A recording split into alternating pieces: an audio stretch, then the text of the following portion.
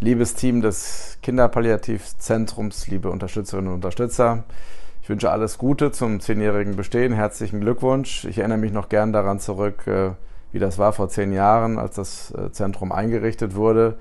Sie kümmern sich um die Kinder, um die Familien, helfen denen sehr, aber sie tun eben auch was dafür, dieses Thema ähm, öffentlich bekannter zu machen und dafür zu sorgen, dass es ernster genommen wird, äh, weil immer noch viele Menschen wahrscheinlich bis heute irgendwie noch nicht so richtig verstehen, wie schwierig das für Kinder ist und dass Kinder eben solche Schmerzen auch empfinden. Deswegen vielen Dank für die sehr konkrete Arbeit für die Kinder, aber auch für die Aufklärung in diesem Land. Und als kleines Dankeschön, da ich gerade noch in Berlin bin, ähm, schicke ich Ihnen einen solchen Berliner Bär zu und vielleicht äh, ähm, kann er ja gut angewendet werden bei den Kindern.